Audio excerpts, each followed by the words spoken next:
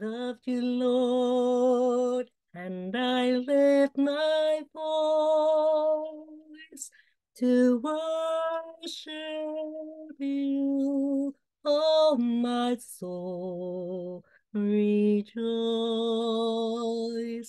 Take joy, my King, in what you hear.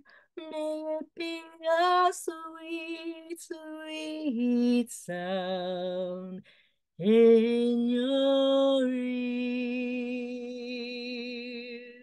Greetings, my dear brothers and sisters. I trust you are doing well. Praise be to God. Say it with me. This is the day that the Lord has made. Let us rejoice and be glad in it. Yay! I'm glad. I hope you are too. I am grateful for every single day. I know you hear me say that a lot. It is true. It is from my heart. I am very grateful. Glory be to God for another day. Thank you, thank you, thank you, Jesus. All right. The photo behind me is of Jesus looking over Jerusalem. Can you see that? Yeah. It's a beautiful, beautiful image. And I actually have a um, framed photo of a copy of this. And I think I got it about almost 30 years ago. Um, it's called Jesus Jerusalem, something like that, where Jesus is just overlooking Jerusalem. Beautiful, beautiful. And yes, Jesus loves us, doesn't he? Jesus loves you. Thank you, Father. All right, without further ado, let's go ahead and get into Sarah Young's Jesus Always. I'll be reading from page 213.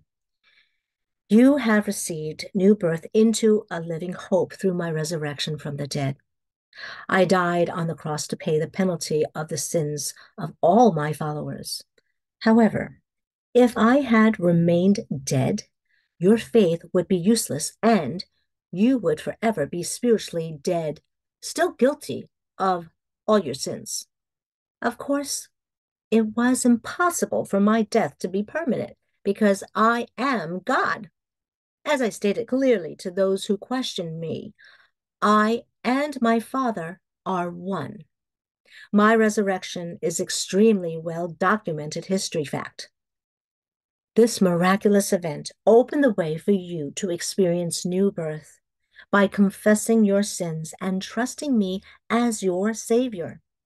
You have become one of my own, walking along a path to heaven. Because I am your living Savior, you walk along a way of living hope. The light of my loving presence shines upon you always, even in your darkest, most difficult moments. Look to me, beloved. Let my brilliant love light pierce the darkness and fill your heart with joy. Praise God.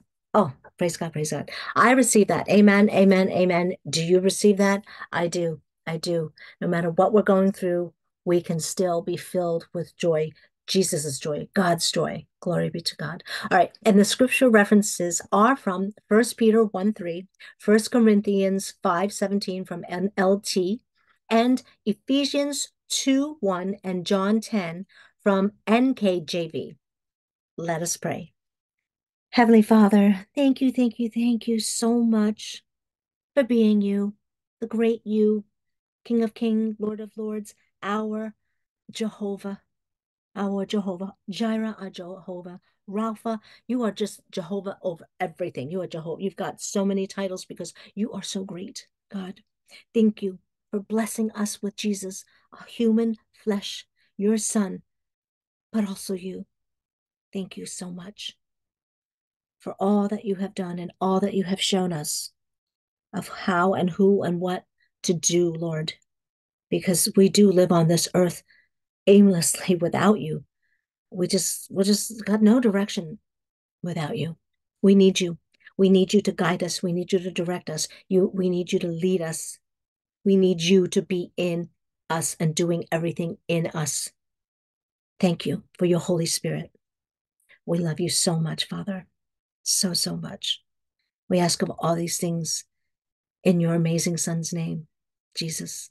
Amen. Amen and amen. Until tomorrow, Prazafit.